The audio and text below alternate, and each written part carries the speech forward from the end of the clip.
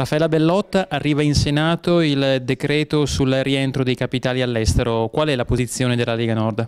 Beh, innanzitutto farei una premessa, il nome rientro capitali all'estero in realtà eh, maschera un decreto che non ha assolutamente più questa sostanza. L'articolo 1 infatti è stato stralciato alla Camera e proprio nell'evidenziare l'inefficienza e l'incapacità del governo di produrre un articolato capace di dare effetti concreti ed efficaci. Quindi la Camera lo ha stralciato ed è arrivato un provvedimento con i soli due articoli rimanenti e di conseguenza eh, diciamo così menomato di quella che era la sostanza iniziale.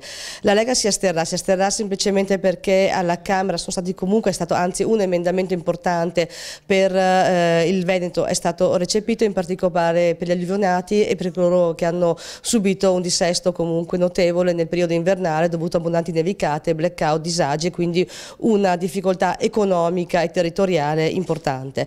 A questo punto la Lega si eh, asterrà proprio perché c'è questa attenzione sicuramente non dovuta da una scelta di governo ma bensì dalla forza che la Lega alla Camera ha voluto portare avanti e che noi sosterremo oggi qui al Senato.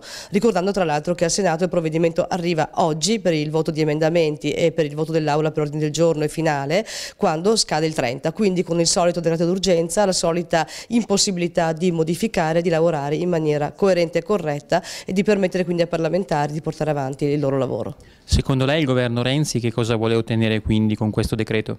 Ma il governo Renzi in realtà vuole solo fare una dimostrazione di portare avanti un decreto che, ripeto, è stato eh, così stralciato dalla parte del cuore importante ed è già stato, almeno questa notizia, riformulato in un altro disegno di legge che vedremo poi nella sostanza cosa produrrà concretamente.